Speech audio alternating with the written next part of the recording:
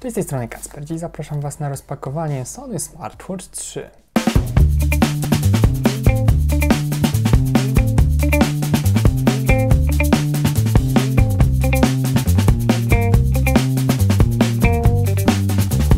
Zacznijmy od samego opakowania. Mamy tutaj przede wszystkim tworzywo sztuczne przeźroczyste, które ukazuje nam wygląd samego urządzenia. Mamy też tutaj logo Sony oraz Sony Smartwatch 3 oraz, że jest tutaj Android Wear.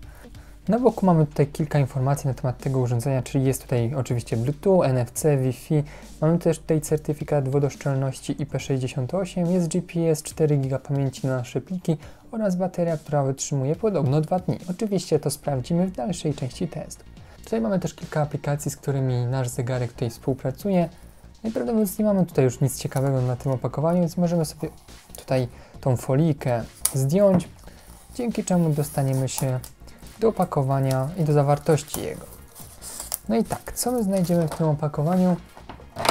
Przede wszystkim sam zegarek, do którego przejdziemy za momencik, a pod spodem jeszcze umieszczono przewód USB do ładowania tego zegarka oraz mamy tutaj jeszcze pliczek instrukcji obsługi, no i kilka jeszcze innych papierków. Jest tego naprawdę tutaj sporo, ale myślę, że nie ma sensu się tym zajmować. Przejdźmy sobie do naszego zegarka już od razu. Zdajmy sobie tylko tą podstawkę. Może zdejmijmy tą folię, bo nam jest niepotrzebna do niczego. No i co my tutaj mamy? Przede wszystkim ukazuje nam się wyświetlacz, który jest przekątny 1,6 cala i ma rozdzielczość 320 na 320 pikseli.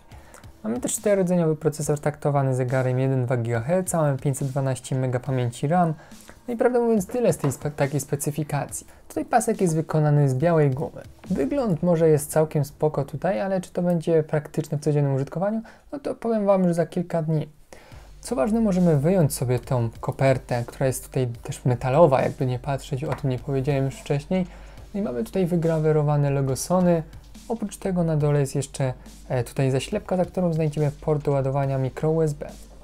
Oczywiście te paski możemy sobie dobrać w innym kolorze. Oczywiście na stronie producenta są takie różne paski, więc jeżeli Wam się nie podoba akurat biały, to możecie albo kupić z innym paskiem, albo dokupić po prostu inne paski do zestawu.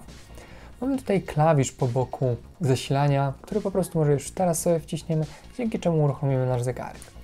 Ukazuje nam się od razu logo Sony, Musimy poczekać aż zegarek nam się załaduje i za chwilę przejdziemy do konfiguracji. W międzyczasie, gdy zegarek nam się włącza, możemy jeszcze pobrać sobie aplikację. No i gdy nam się konfiguracja skończy, możemy wybrać język polski, no bo w końcu jest on dostępny w naszym kraju.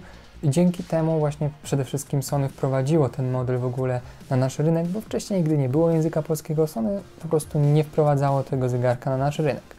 No i teraz możemy sobie sparować nasz zegarek z telefonem. Chwileczkę to oczywiście będzie trwało, ponieważ no, muszą tutaj się zaktualizować jakieś aplikacje niektóre, muszą tutaj się wszystko powiązać, więc no to może trwać nawet kilka dobrych minut. No i już po chwili nasz zegarek się tutaj skonfigurował i możemy go normalnie używać. Dobra, jeśli macie do mnie jakiekolwiek pytania odnośnie tego zegarka, piszcie śmiało w komentarzach. Zachęcam Was do zostawienia subskrypcji, zostawienia łapki w górę, jeżeli Wam się ten materiał podobał oraz do obserwowania mnie na portalach społecznościowych. Dzięki za oglądanie i do zobaczenia w kolejnych filmach. Cześć!